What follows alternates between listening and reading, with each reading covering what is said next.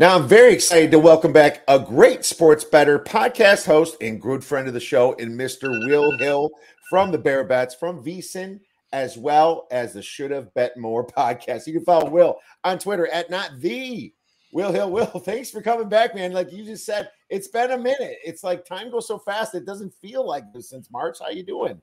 Good. What's going on? Thanks for having me. It's always fun. I, uh, I, yeah, I top of my head, I was like, yeah, we probably talked a couple weeks ago, a couple, and then you look back and it's like, well, I think it was Selection Sunday last time you were on mine, and uh, yeah, like you said, time goes by fast, and we're sitting here middle of June. It feels like football's far away. In some ways, it is, but only like six weeks until the Hall of Fame game. I think it's the Bears. I forget who it is. The Bears, maybe Washington, like August first. So it's not that far away. You get through these finals, you get like an NBA draft, some NBA free agency, a little baseball. You look up, and we're going to be having football on our TVs in not that long. So excited to talk about it. Oh, absolutely. And obviously, the HBO show uh, with the Bears on it uh, again is going to be coming up soon, too. The training camp show. It's called again? The um, uh, Hard Knocks. Hard Knocks. That's it. It just escaped me. But yeah, that's that's going to be coming soon. But you're right. I, I think, and we're getting to the end here. We're in the finals for NHL. NBA championship. And here we are. It's like, I think as soon as that ends, people are like, okay, it's time. It's time to start thinking about football. Maybe some of these odds change by then, but it's cool that we're getting ahead of it a little bit early here. But hey, man, uh, before we talking about football, uh, NBA Finals, is, is this thing over between the Mavs and the Celtics? I mean, what a terrible performance by everybody except Luka these first two games. What are your thoughts on that? I thought you were going to say what a terrible postseason it's been because you really it, it, hasn't lived up to what we thought it would be. I thought it was really a balanced field, a balanced league with a lot of parity, and uh, you're going to get some great series. The injuries really hurt it. Some of it's just kind of randomness where uh, we we didn't get games. Sometimes the games were good, but the series were bad. Like Dallas and Minnesota, where all the games are competitive, but Dallas wins in five, and then Denver, Minnesota. The series overall is competitive, but all the games are you know 15, 20 point blowouts. So it's been a disappointing postseason. Uh, you asked if it's over. Probably. I mean, Dallas winning four out of five seems far fetched. I think Porzingis possibly being out opens the door a little bit. Where hey, you get one if you're Dallas, and then you're you're at home with a chance to tie this thing up, and then who knows? But Boston just looks like the better team, the deeper team. If you're just picking sides, playground style, mm-hmm. uh, you know the first two for Boston and Dallas. Uh, I would say cancel out, but that, Kyrie has not been good, and Tatum hasn't been good. It's it's been a strange series. Uh, but after that, the next like three, four, five guys are all Celtics. I mean, you're talking about five of the seven best, six of the eight best players all on Boston with Holiday and White and uh, Porzingis if he plays when he plays Horford. It's just it's not a great Dallas roster. You watch them play these first two games. How did this team make the finals? They just don't have a lot of shooting. They don't have a lot of uh, you know offense, especially if Kyrie's going to play like this. So uh, I, I was in between. Dallas, I think needs both of them in Dallas to tie it up at two two to have any chance, then make it a best of three. I think if Boston gets even a split, it's 3 1, and then you got five at home, you got seven at home. Dallas probably yeah. not winning three in a row. I just don't think Dallas is getting a split. So I think Boston wins. I was I was unsure if Dallas would even get a home game with Porzingis. Like I would say likely out. I, I think Dallas probably gets one here, and then Boston wins it in five. Is that one today? I see the odds are going up a little bit, minus three now on Dallas. I would think so. I never like to pick a team down 3 0. So if you're going to get one, I think for for the level of interest in the finals, I mean, if it's 3 0, everyone's just going to turn it off and stop paying attention to game until, yeah. you know, unless Dallas came back and forced the game six or seven, that they everyone will assume it's over. So for the, uh, the for you know the benefit of interest, I would say I hope it's today just to get some juice in the series. Uh, I'll, I don't know though. I don't know. Um, I, will pick them tonight. I, will say they win tonight. Boston gets game four, and then Boston wins it in five. Okay. Yeah, and it's almost to the point where it's tough because I feel like if and I kind of agree with you. If if I bet Dallas tonight and I lose, I almost have to bet them again because are they really going to get four games swept? It's like it, that's the time where they should be playing out of their minds. But the thing about Kyrie Irving, man, this dude's got the worst and the best mental aspects, you know. And when I say the best, it was like the way he played against Minnesota. You know, it's like Kyrie comes back. Kyrie looks like one of the best players in the game, and then he goes to Boston where he is uh, like afraid of the crowd. You know, I think mentally he just couldn't do anything. It's almost like uh, he was a massive liability. I think if Jason Kidd goes back in time, he doesn't start him. I don't know. It's just like I, I feel like he's hurting the team when he plays in Boston more. Is that fair? Well, I think Holiday is just a really bad matchup. Holiday has a size to really shut him down. He doesn't have any mm-hmm. space. He doesn't have a window to get his shot off. Everything is contested. He has very few clean looks. So uh, I just think this is a this is a tough matchup. When Boston's healthy, when Boston has mm-hmm. Porzingis, they've got five guys on the court pretty much at all times that can shoot like forty percent from three and that defend and are long and defend the perimeter. And Luke is hobbled too, which look, he's fooled me a couple times where I think he's hurt, and I count Dallas out against OKC. He looked really hurt, and then he you know came back and they won that series in six games. But Luke is hobbling around here. They've gone at him defensively. Where that's the other thing too. Dallas has played these teams where they can kind of hide some defenders here and there. You don't have to guard Gobert when uh, Minnesota right. out on the perimeter. You can maneuver around that. You didn't have to guard Josh Giddey. Boston, they've got guys you have to guard everywhere. You can't hide any of your bigs. You can't hide Luka. And Boston's just a team where you, you can't hide guys. And Dallas is a team that, that right. needs to hide Luka and hide some hide some of their bigs on the perimeter. So this is just a bad matchup here for Dallas. That's a great point. And, you know, I'm looking at first quarter Dallas, maybe it's minus 130. You know, I, I look at the half and it's uh minus 175. I'm like, oh, I, you know, I, I think I'd, I know obviously quarter, first quarter, much more variant but uh, it's just like you guys, Dallas, you got to come out firing here. You know, you got to, and it just went down to 125. So there you go. Somebody came in on Boston here uh, for the first quarter. I'm gonna look at that. Uh, possibly even put a small play for the for the total game. But yeah, it's one of those. I think it's over. I think it's in five games, and I think you agree with that. Gentleman sweep type situation. So um, probably move on from that. Talk some NFL here we are, my man. We got the draft done. You know, it's great about the NFL at this time. A lot of the moves are done, Will. You know, we're kind of we got these teams. We just gotta kind of see what happens in OTAs, a little bit in training camp. Obviously, God forbid, we always get injuries in the preseason. The preseason's less and less games. But here we are, man. Uh, uh, the NFL's around the corner, like you said, six weeks. The Hall of Fame games coming up here. Um, I just want to kind of start general to you, and it's just fun, kind of like just early thoughts. Which teams are overhyped this year? And and there's hype teams that I think deserve to be hyped, but who's overhyped? My radar is always up when these teams, when everyone's kind of picking the same team, and we're not there yet. Where you know the media comes out with the Super Bowl predictions, but I can just sense with the way last season ended, the young quarterbacks. I think Houston and Green Bay are going to be everybody's darling. You're going to see plenty of Houston to the Super Bowl. You're going to see plenty of Green Bay to the Super Bowl and they should have beaten San Francisco and been in the title game. They got a young quarterback, young receivers. I'm always leery of the team that takes giant leap. It's not always linear where you take one step forward one year and then you take another step forward next year. A team like Houston that was uh, really bad came out of nowhere and now they're you know getting their flowers, so to speak, all off season. Now they added some players. They added Diggs. They added Hunter. I mean, it's hard not to like the roster. Stroud's obviously tremendous, and maybe he's so good where they defy this. But I just always have my antenna up that these young teams, when they take one step forward and everybody assumes they're going to take a second step forward, I'm not so sure. So I don't know that overhyped is the fair word. They're, they're talented teams, but those are teams where everyone assumes they're going to take a step forward, and I'm not so sure going forward. Yeah, when I say overhyped, it's always based upon their odds. You know, it's always based yeah. upon their number. Uh, what we care about as sports bettors, 9.5 juice to the over minus 140. That's hefty. I mean, you got to think about what happened to teams that went had an easy schedule to hard. Look what happened to Jacksonville. They had the first place schedule last year in their division and didn't quite finish quite as good.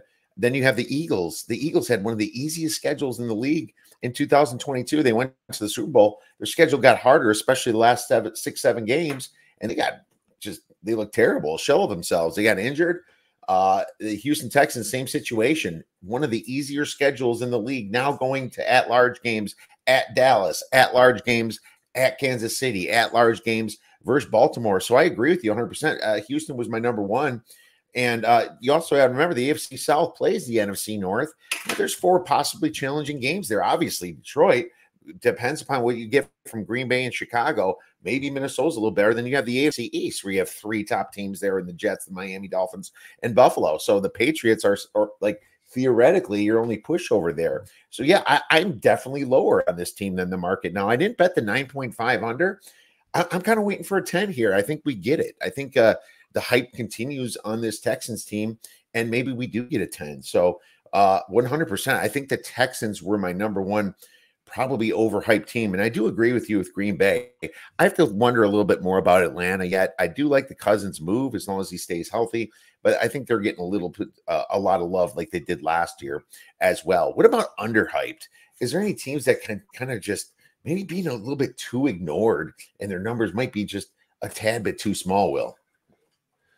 Yeah, I don't know if underhyped is the right word because these are teams that are going to get a lot of attention. Again, we're still not in that cycle yet where people are predictions. So I don't know that um, this is that that hypes that underhypes the right word, but I'll, I'll say undervalued. undervalued let's, let's change it. Still have some yeah. value. Undervalued. Cincy at plus 170 or so to win the division, I think is a great bet. Everybody in the AFC has a brutal schedule just because there's so many good teams, there's so many good quarterbacks. Cincy's actually one where you look at the schedule and you say, huh, it's not that bad. Where they play a last place schedule and their last place schedule, I mean, that is Titans, that is Panthers, and that is Patriots. They also have games against the Giants, the Commanders, and the Raiders. Now, look, we're sitting here on June 12th and trying to figure out who's good and bad. Hey, that's an easy game. That team stinks. Who knows? We we don't always know, but we can only go by what we think we know. And by what we think we know, that's six pretty doable games. Burrow, you figures back healthy. You figure the defense, which was bad last year with that good with, with the good defense coordinator Anarumo, they'll uh, they'll improve. I think plus 170 with that schedule. You figure Baltimore with the guys they lost in the offensive line, losing their defensive coordinator, who everyone seems to like. Uh, who knows if Lamar can stay healthy? Maybe Baltimore takes a step back. I think with that schedule, plus 170 is a great bet on Cincinnati to win the division.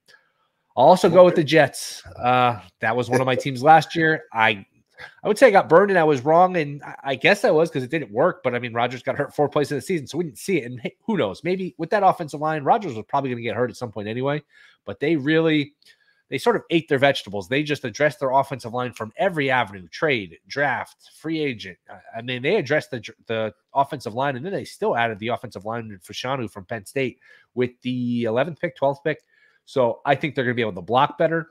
I think their schedule compared to the other teams in the AFC East. I, I, went through it and I just did a quick exercise of opponents' season projected wins. So uh, the Bills. So, so you just add up everybody's opponent and how many wins they're they're they're lined at. Like you know, used one of the books, DraftKings. I think I used the Bills have an opponent schedule where their opponents are expected to win 139 and a half games. The Dolphins opponents are expected to win 143 and a half games. The Jets opponents only expected to win 120. They have a pretty soft schedule compared to some of these other teams.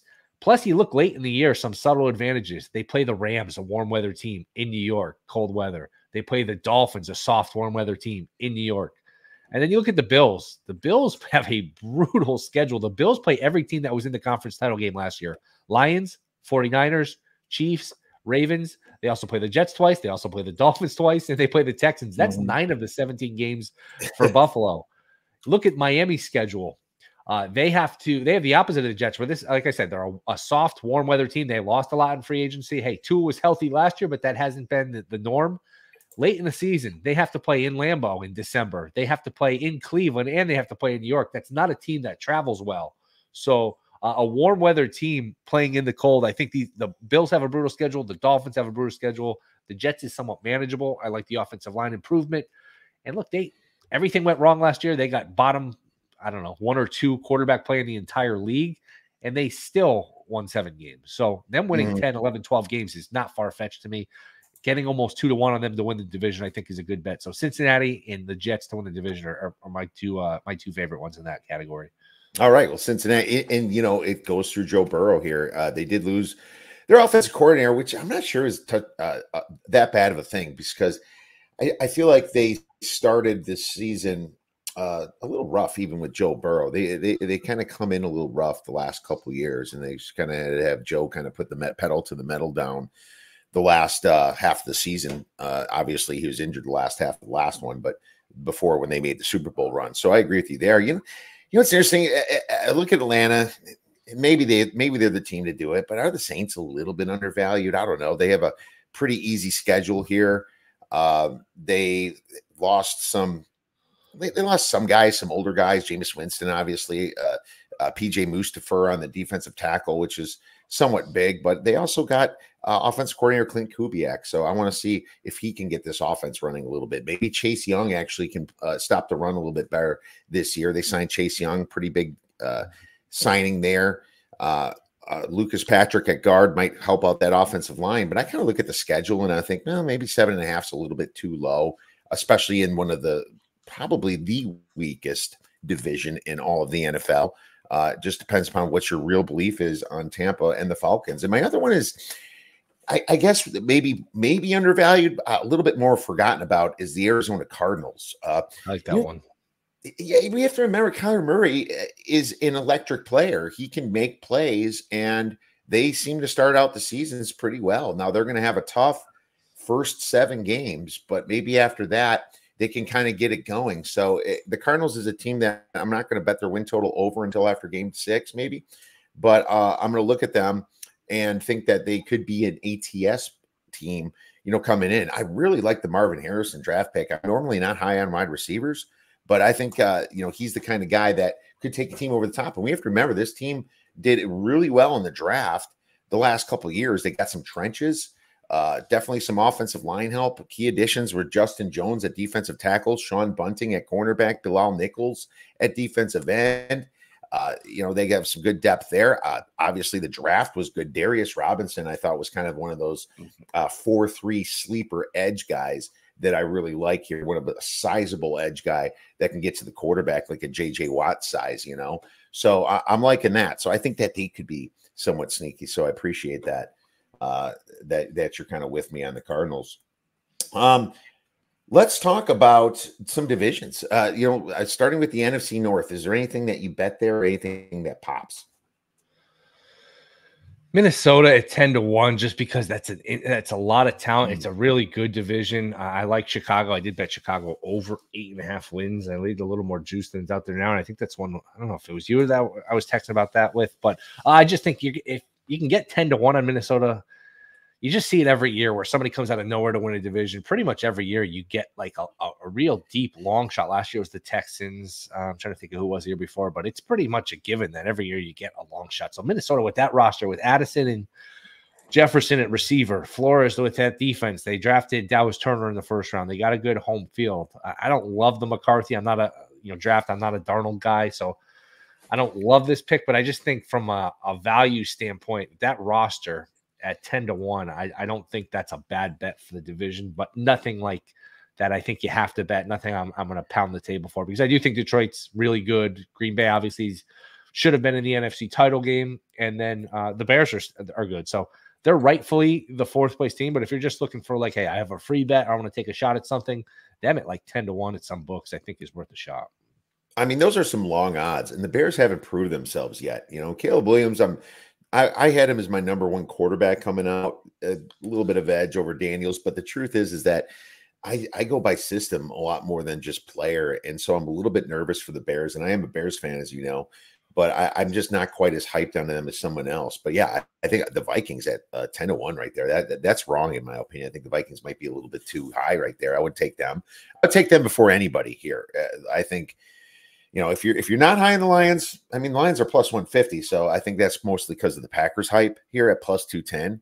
So I, I, I if it, would be the Lions or the Vikings for me, you can literally make money off both if you do a little sprinkle on the Vikings. So completely agree there. What about the NFC South with the Falcons there? Are you believing in the hype with Kirk Cousins? No. Um, I mean, they they opened at 10 and a half. I mean, when has Kirk Cousins ever won 11 games? That was when he's healthy and had re- really good teams with Minnesota. I just I, am not a believer in Cousins coming off the uh the Achilles, and they really I don't want to say they wasted a pick, but they took a pick where if Cousins plays and plays well, like that's Penix is going to help them this year. That's a guy, a top 10 pick. That's somebody that should be helping the team this year. That's not. I don't love Atlanta. I look to to you know fade Atlanta. I just, I don't know. I can't quite get there with the Panthers. You made some good points about the Saints. The Saints were a, a sharp mm-hmm. darling last year. Every year, yeah. every week, it seemed like the the Saints took money last year. I don't love Carr. I don't love the coach. I, I, this division right now would be a pass for me. I guess Tampa. What's what are we looking at Tampa? I don't. I can see the numbers, but they're small. Tampa, plus three ten. Plus three ten. That's so, not bad. Uh, if I had to bet one, I take Tampa plus three ten, almost by default though. Yeah, absolutely. I want to try to uh, make these numbers a little bit bigger as well for the screen here. But yeah, you know, I I'm not taking the Falcons at minus 115. I like I do like the Saints over the win total at 7.5. But yeah, I agree with you. I would take Tampa for the division at plus 310. What have they done so wrong? And Todd Bowles has really surprised me. I was more down on him before, Will. I'm actually more higher on him now. So I was wrong about Todd Bowles. Uh, it, what about the NFC East? The Eagles at plus 115, Cowboys plus 130. Uh, then obviously plus 800 in the Commanders, plus 1200 in the Giants. I'd flip flop the Commanders and the Giants personally, but um, I, I mean, I, I think the Eagles do win it this year. I like their draft. I like what they did in the offseason. So not much for me on this one. What about you? Yep, I'm always looking at the long shots and hey, is there something there? I think you can kind of throw out the Commanders and the Giants. I think it's a stretch to think either one could possibly win the division. So, two horse race. This this division has a habit, a history of flip flopping, and nobody wins it two years in a row. You're going to hear that about a thousand times before the season starts. And there's a narrative that the Eagles have passed the Cowboys, and I think that's a narrative I agree with. With the draft, with now look Hurts, I, I don't know what to make of Hurts because I never thought he was going to be good coming in. I you know watch him in college. Go, hey, he's just not good enough passer. I admitted I was wrong. He's a really good player. Then I watched him last year. go, maybe I wasn't so wrong. So I've gone back and forth a few times. Can he stay healthy? Is the tush push going to be as effective without Kelce? I don't know, but that's a good roster. I like their draft. I don't love what Dallas did. Dallas, I don't know. You, you start to worry. I like the Zimmer addition. Zimmer's a good coach. I think he'll help the defense. You know, hard nosed guy. They need a little toughness there. But I think the idea that Philly passed Dallas, I think, is correct. I think it'll be a close race, but uh, I'll go with Philly here. All right, no, we both agree. Uh, NFC West, then Niners, the obvious favorite, a massive favorite, minus one ninety five. Then the Rams plus three thirty, Seahawks plus seven hundred, Cardinals plus thirteen hundred. What do you think about this division? All of the non-Niner teams are interesting. I just I can't quite pull the trigger unless you're going to lose the quarterback for Purdy for a, you know a, a decent stretch they're solid enough to get to the 11, 12 or so wins. And I just don't know if these other teams have the upside. Like I, I kind of like Seattle as an over. I think they're seven and a half. I, I like them as an over. The Rams, that's a solid team, but I just think that the 49ers have an upside and really have a a floor, a basement that these other t- teams are gonna have a hard time getting. I 195, that's not sexy. It's not like, hey, you know, you're not gonna uh you know get get a lot of attention for giving out a minus 195 winner. You're not going to get a lot of credit for that, but that's one of those ones. Hey, you bet at minus 195. I wouldn't be shocked if you look week four, week five, it's minus 300, and week nine, it's minus 600. You say, hey, I wish I bet the minus 195. So if I had to bet it, I would I would go chalk here. Okay. Well, hey, you know, I actually uh like the Rams to finish to make the playoffs, and I took that at plus 100. Trust me, I I I look at the 330. I'm like, mm, much better odds, you know, but I just don't see them coming ahead of Kyle Shanahan this year, unless obviously injury. The frustrating thing with the Rams is I had that beautiful plus seven and a, that seven and a half under very early in the season, and then that they, they blew that the doors yep. off of that one. you know, but hey, you got an older quarterback who's always hurt, and last year he stayed healthy. So is he going to stay healthy again? I mean, what what are the yeah. odds here of Stafford staying healthy for what 34 games in a row now. I don't know. All right, all right. Yeah, I, I disagree with the Seahawks though. I actually took their Ooh. season win total under seven and a half. Hey, it's our first disagreement. You know, I, I, just with the new coach, the Pete Carroll firing. I'm not a big. I, I'm not big on the new coach, and I just think that it could be a situation where now you see a different Geno Smith. Maybe without Pete Carroll in that system, there you see the Geno Smith we remember from the beginning of his career. You know, I do know that they have some talent, especially at wide receiver, but yes. I mean, uh, they're going to lose one of their wide receivers. I'm sure Smith-Njigba, and DK Metcalf are the ones that are staying, but man, th- they demand the ball a lot. Uh, the Seahawks did lose some players, just like everybody. It's a tough division if I like the Cardinals a little bit, then I probably have to be down on one team. So our only disagreement is on the Seahawks. What about the AFC North? Uh, Ravens plus 130, Bengals plus 145, Browns plus Ooh, 600. Probably. Maybe you. Yeah, there were some plus 170s for a long time out there. And again, shop around, you're going to find some disparity with these numbers. But uh, plus 145, I'd still go with Cincy just because I think they have a much easier schedule than the rest of these teams in the division. Okay. And Pittsburgh, I, Pittsburgh's killed by their schedule. Pittsburgh's my favorite under, maybe in the whole uh, you know, in, the entire league, the entire market is Pittsburgh under. You just look at the last eight or nine games. I'm not the first or last person to think of this. You're going to hear that a lot. How tough the schedule is. It is. It's brutal. They play basically a Super Bowl contender every week from like week eight, week nine on, and you you can tell me, hey, Tomlin always gets to over 500. He always does this. A lot of that is kind of smoke and mirrors. A lot of that is, hey, they're I don't know seven and seven, and then they play a couple teams the end of the year that are resting starters or a quarterback got hurt, and they backdoor their way to nine and seven, nine and eight, and then they get absolutely trucked in the playoffs.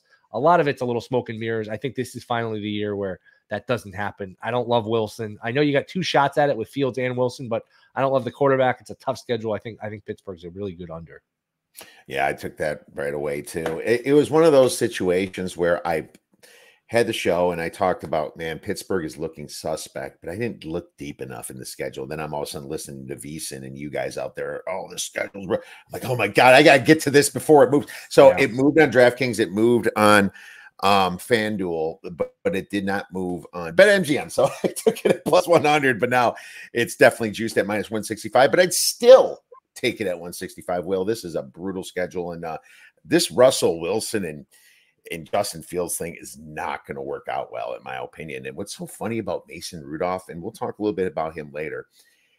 I think he was really good this last year. I think he finished yeah, he was. strong for this team, and all of a sudden he's gone. So we have agreement in this division. Let's move on to the AFC South then.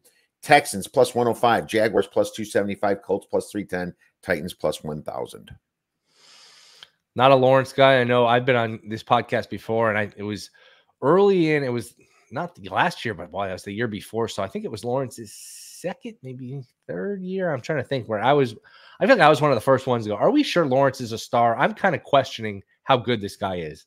So I'm not a Lawrence fan. I think he's bust might be strong, but he's never going to be this generational quarterback he was built to be. Completely overrated. That being said, plus 275, that's decent value. Uh, I don't want to lay the basically even money with the Texans. They could come back down to earth. Colts is interesting. I like the coach. I just don't know can Richardson stay healthy. He's a man. Every play is a car crash with him. He's good, but he's so physical. It's almost like mm-hmm. I don't know mm-hmm. Shaq in a in a football uniform, just colliding with everybody on every play. He was impressive when he played. I just don't know can he stay healthy. Titans to me are a toss out. I think the value's there on Jacksonville plus two seventy five. Still a talented team. Um, I wish I, I wish they had a little better of a home field advantage, which they don't have much of but you know, decent quarterback, not a superstar like he was supposed to be, but he's a decent quarterback, pretty good coach, some pieces on defense. I think you're getting almost three to one. I think that's the value play. Yeah, uh, the the Jaguars. Yeah, I was. Yes. I I just talked about them. They're the only one I would t- pick as well. But I also like them to make the playoffs at plus one thirty. It's a way to fade the Texans, kind of, but also be safe if they both make the playoffs, right. or if the Texans still win the division. So I'm, but I still might take the Jaguars at plus 275. I do have that in my write up. Uh, the Titans have an interesting situation, and there might be a better way to bet them. So I'll talk about that a little bit later. AFC East. Uh, Bills plus 170, Jets plus 190, Dolphins plus 200, Patriots 25 to 1 with the worst odds in the, all the NFL to win their division. What are your thoughts? Patriots still missing a zero there. I will go with the Jets. I think at almost 2 to 1 for all the reasons we talked about earlier. Proved offensive line, a big adv- advantage in terms of the schedule when you line up the schedule side by side. Uh, I think the Jets is the play. I think the Jets are going to win the division. My first bet of the year was the Jets to win the division at wow. plus 240. It's plus 190, so not that much of a difference. I still like that value. And I like the fourth place schedule. You got to love that, Will, yep. right? That's going to certainly help. Uh, AFC West, right? Is that where we're at? The Chiefs minus 225, the Chargers plus 300, Raiders plus 1200, Broncos plus 1500. Probably betting against the Mahomes injury if you're bet if you're taking anybody else if you're just if you think the Chargers can win. Uh, you can tell me, hey, you got Harbaugh, you got a really good coach who's just a complete psychopath, and I mean that in a good way, and you've got Herbert, who I think is gonna blossom under Harbaugh, but they did lose a lot of their I will say weapons, but those guys didn't play a lot to begin with. You know, the Keenan Allens and the Ekelers, those guys were always hurt. Mike Williams, guys were always hurt. So yeah, you're missing them, but you were always missing them because they didn't play a lot of football. Chargers, it would be Chargers or anything, but I think the Chiefs win. I'm, I'm probably not going to play the Chargers. Uh, you could throw out the Raiders, you could throw out the Broncos. Uh, I think if you want to get at the Chargers, though, your idea with taking the Jags to make the playoffs to give yourself a little bit of an uh, you know a second avenue to get in. I would just take the Chargers to like make the playoffs. I don't actually think they're going to win the division. Chiefs have won this division. I think since you were in junior high every single year. uh, and I think that'll continue. I think the Chiefs win the division, barring a Mahomes injury. It's been a while, my friend. I think that the only bet I would make is the Chargers if I had to, but I, I didn't. Agree. And I agree that the Chiefs are probably the, well, definitely the rightful favorite at minus 225. Not so sure. Here's a, a better way to bet these Chargers anyway. So let's quick go to the awards here. And why don't we start with Coach of the Year? Because it, I was just alluding to this. If I was going to bet the Chargers, I would probably take the Coach of the Year, you know, Harbaugh's Coach of the Year, because nine to one instead of three to one if he wins that division, why would you? Don't you think he'd be coach yes. of the year by going through the Chiefs? And if you're scared, you can also do a Raheem Morris at 13 to 1 too, because both of those are much better value than minus 115 for the, the, Falcons to win their division. I think these are the two coaches that makes the most sense from a voting standpoint. I, am I wrong here? Harbaugh 9 to 1 is very intriguing. I'll throw in another one just because sometimes you win this award um, there's a few different things at play here. Like, remember when the Sacramento Kings hadn't made the playoffs for forever and they finally made it? The coach got the credit. Uh, if Saleh makes the playoffs with the Jets, I know they have a talented roster. They have Rodgers. Maybe Rodgers gets the credit, but it's in New York. That always helps with the market, with the, the voting. Remember, Daboll won it a couple years ago when a couple when some people didn't think he would if Saleh can win 11, 12 games, win the division, the the the narrative could be, hey, he held it together. Rodgers is a big ego. He uh, you know, he bounced back. The media likes Saleh too. Remember that he's buddies with a lot of you know Peter Schrager and a lot of these guys. The media speaks very highly of Saleh. Uh, if they can get off the drought, if they can get off the schneid, remember it's been 14 years since they made the playoffs. That's the longest drought in all of sports. If he gets them in the playoffs, I think Saleh at 11 to one, not bad. I'd like a little more, but that's at least the guy I think is live because of the narrative, even though we expect him to be pretty good, which is usually not the avenue to winning this award.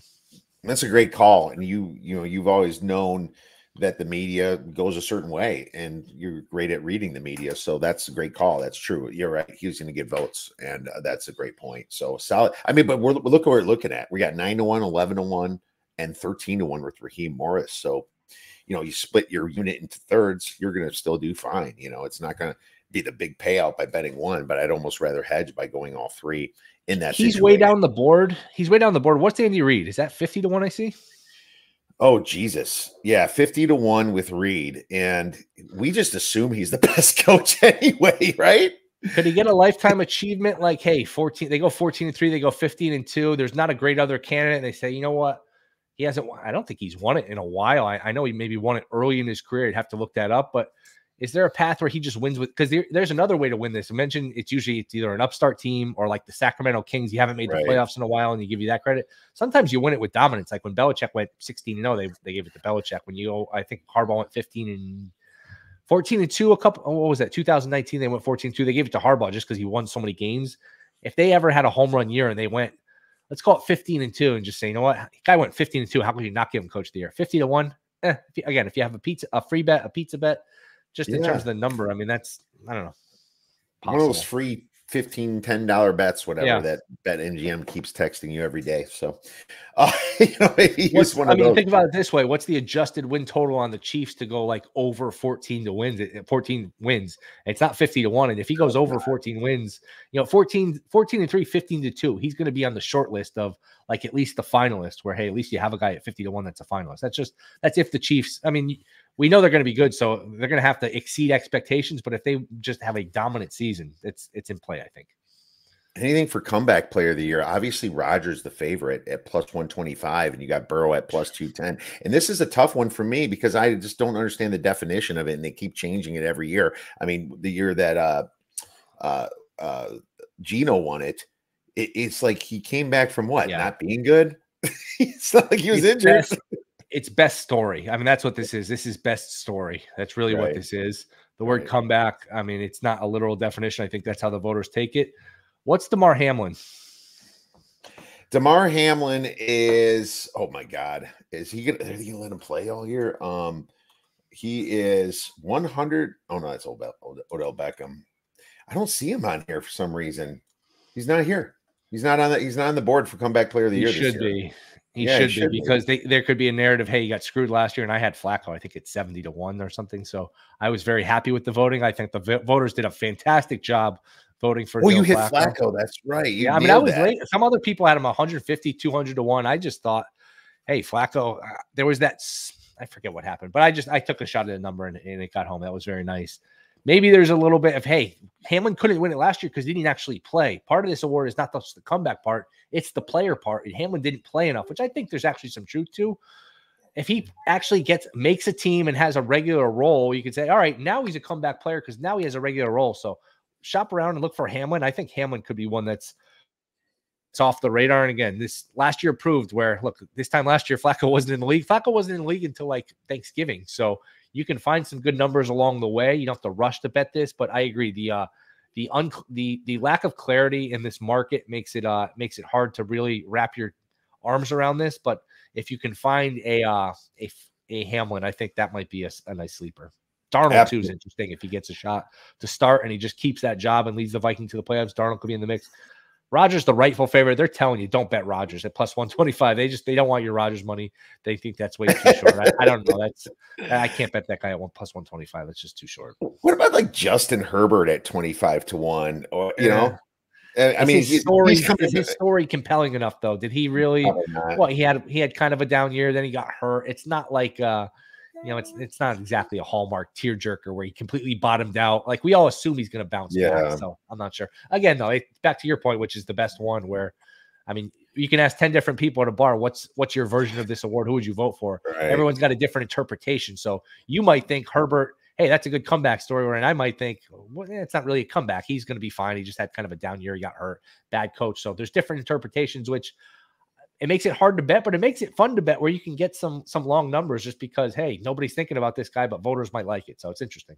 All right, no, I agree. And then maybe the story on Justin Fields was like all of a sudden he passes the ball well this year to guys like George yeah. Pickens and you know some of those good receivers there, and all of a sudden like you realize it was the Bears coaching incompetence, which you know always is a possibility with the Bears, and then Justin Fields does something and at 35 to 1 i find that as maybe a story too. I haven't bet anything yet but great to talk about um it, it's it's it, like i think pizza only just because the way the voters are is probably the best in this situation. Um i didn't do anything for offensive rookie of the year defense of the rookie of the year uh anything there for you not yet. I, am interested in the kid Pearsall, the receiver for the Niners. I've heard rave reviews about him in camp with uh with Purdy, and he was kind of an underrated player in college. Has all the measurables.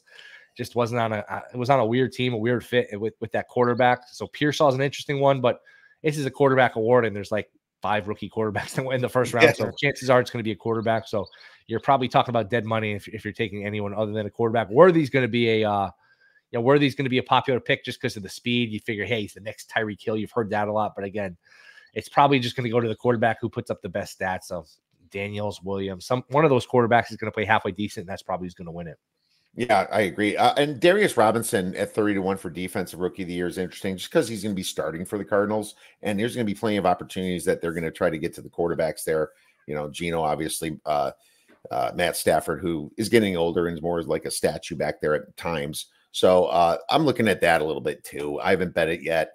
Um, MVP. I mean, you know Mahomes, who I put by the way, you know I put a free bet on for offensive uh, offensive rookie of the year. This is absolutely not going to win, and I probably shouldn't have bet it, but it was a free bet, and I just I don't know. Cody Schrader at 250 to 1, the Missouri running back who's on the 49ers. If okay. McCaffrey gets hurt and he's had a history getting hurt, all of a sudden you got that player who I loved in college. I know there's some, you know, he's not the he's not a burner, but He's kind of a versatile back. He led the SEC in rushing. He put up some great stats in the SEC. You're going to put him in Kyle Shanahan's system. Again, a lot of things have to happen, but if you got an injury where uh, where Corey Sh- Cody Schrader's the uh, the starting running back for the 49ers at 250 to 1, it's at least interesting, but probably dead money anything other than a quarterback. I'm looking for it on DK. I can't. So you must have got it somewhere else. That's really interesting. But it's a great call because what does the uh, this system do? You see it in Miami yes. With McDaniel. They just pound the running backs and they get injured you get the guy that's going to going to be the Christian McCaffrey role. How is that not the offensive rookie of the year? You know, so that's very interesting. An offensive player of the year, I, I hit that with Christian McCaffrey last year. Tyreek Hill is actually the favorite this year because I'm not sure if the voters would give it to the same guy twice. Maybe they would, but um, that's interesting. You got Ja'Marr Chase there at 12 to 1, which is interesting too. So if you really believe in the Bengals, you know, you're looking at Ja'Marr Chase. Uh, I think Justin Jefferson, I would not touch at 15 to 1 just because of the quarterback situation over there. But um, that's an interesting one as well. Um, What's Mahomes, then, yeah. by the way? What's Mahomes for this market? for offensive player of the Yeah, year. because this is another weird one where sometimes it's just the best non-quarterback. Sometimes the quarterback wins it too. Sometimes it's the second best quarterback. If you go back and look, sometimes this does go to a quarterback. Sometimes it goes to the MVP. Like this is a strange one where hey, you won MVP. Why didn't you win Offensive Player of the Year? It's it's almost like a uh, a consolation prize because we know that the MVP goes to the quarterback. So this is a non-quarterback award, but sometimes you can give it to him. I don't know what's Mahomes for 40, 40 45, 45, 45 horrible, one. Oh, Mahomes no, has just a monster season, and you hey, you have to give him MVP and Offensive Player of the Year, or he's the second best quarterback, and you just give him that consolation. Again, it's Patrick Mahomes at forty-five to one or whatever. It's not horrible. It's not. It's definitely not. And I like the thought process here because this is what this is all about is the thought process that goes into it. Um, Saquon Barkley could be a candidate if the Eagles Yeah. are back too. So, and he's 16 to one, really not too bad odds. And obviously the Eagles uh, just crumbled last year. Barkley is a fantastic running back. And if he stays healthy, you know, he's going to be in the mix and maybe JT, Jonathan Taylor could still be in the mix, uh, possibly as well. Uh, MVP's the last one. Will anything there? They've taken the fun away with this market. All these numbers have shrunk. I've talked about this before. In 2018, Mahomes won this award at like 80 to 1. Then 2019, Lamar won at like 70 to 1. And then 2020, Rodgers was 30 to 1. And they all won this award. So what the book says, you know what? We're not going to give out 30, 70, 80 to 1s anymore. We know it's going to be quarterbacks. So we're going to take all of these quarterbacks and we're going to shrink the numbers. So they're not giving you anything juicy. I mean, I remember last year, Sam Howell was like 45 to 1. And it's like, come on, this is Sam Howell. So they're not giving you any more like moonshots here. no. Um, I haven't bet anything. I think this is one where you can pick off numbers along the way. I, I just, and there's so many short numbers, and I, I think I'm a little sc- scarred because I think I had Purdy was at 22 to one like three or four weeks into the season, and I was like minus whatever going into uh, Christmas Eve, the Christmas dis- or Christmas disaster uh, against the Ravens. But long story short, I haven't betted. I feel like a lot of these numbers are shrunk. I, I don't know if you have anything you'd pound the table for right now, but to me, all of these numbers are just too short. These numbers kind of feel like a ripoff, to be honest. It's a regular season award, but it has to be a team making the playoffs. So you're right. I mean, look, Sure. these numbers are terrible. You know, I mean, uh, Christian McCaffrey could be arguably the most valuable player at the position last year, but I'm glad that I took him for Offense Player of the Year because of the way that went with uh, Lamar. I, I, you know, it's it's a regular season award. You have to remember if they choke in the playoffs, it don't matter. But you, you got all your playoff guys. Let's just let's just put the first uh, 14 uh, or so teams here. The best you're getting is two at 22 to 1 if he makes the playoffs. Maybe Trevor Lawrence sneaks in at 30 to 1, but they're plus money to make the playoffs. You know, I mean, you're right. They did take the fun out of this. I'm not touching it. Um, if I had to do it, it'd be probably Trevor Lawrence or Anthony Richardson at 30 to 1. But I agree with you. Uh, this is That's, a tough that's a hell of a leap for those guys to win the award. I mean, I know you're Yeah. getting pretty good numbers, but man, Yeah. I don't like Richardson. yeah. What's he played four games in the NFL and gotten hurt? Like, I, I, I get the upsides there. What's Herbert? 18 to 1. He's the one I'm um, he was the other one I mentioned. Uh, or I was horrible. I would just I feel like this way with a lot of guys where I look at it, I could see a path where he wins, and it's enough of a sleeper where you know it's interesting, but I feel like I need double on all these guys. Like if you give me Herbert at 36 to 1, all right, I think that's I think that's more fair, honestly, because he's still in a division with Mahomes. He's probably not going to win the division. Like it, it's hard to win the MVP. There's a lot, there's 8, 10, 12 really good quarterbacks. It's hard to crack that list. You're I mean, think about this. If you're gonna if you're Lawrence, you gotta have a better season than Mahomes, Burrow, Lamar, Allen. I mean, you got to beat out some major, major players. And at Mhm. like 18 to 1 for Herbert, uh, I don't know. Uh, don't disagreement here. You're the best, Will. Where could our listeners and viewers get your great information and media? Goldboys.com. I'm on VSiN a few times a week. Should have bet more podcast, Fox the Bear Bets podcast. So appreciate you having me on. Usually when you have me on, that means you're getting a text pretty soon. Hey, you're gonna come on mine. So usually we do these home and home. So I'm gonna have to have Yep. you on soon. But appreciate you having me on. This was fun. My Fun thought man. exercise too. Good to get the uh the wheels Yeah. turning too. Absolutely nice and early before maybe some of these uh, move and maybe some of these jumped out to our listeners. So that would be wonderful, Will. Thanks a lot again, and we'll be texting this week. Sounds good.